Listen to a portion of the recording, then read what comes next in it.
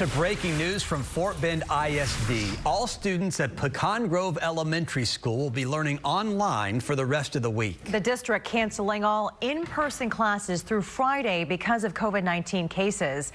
Our Devin Clark is live from Pecan Grove Elementary School with the newest information tonight. Devin?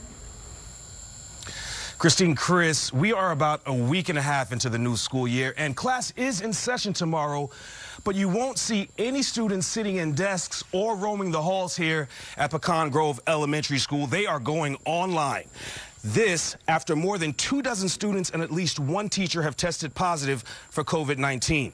Here's what parents need to know. School will begin at 9.30 Tuesday morning. For the rest of the week, the school schedule will remain the same as normal from 8 to 10 a.m. until 3.25 p.m., except that it will be online. Teachers will send students Microsoft team invites before class tomorrow morning, and the district will still provide free grab-and-go meals. Parents must provide a student ID number to pick up meals for their students.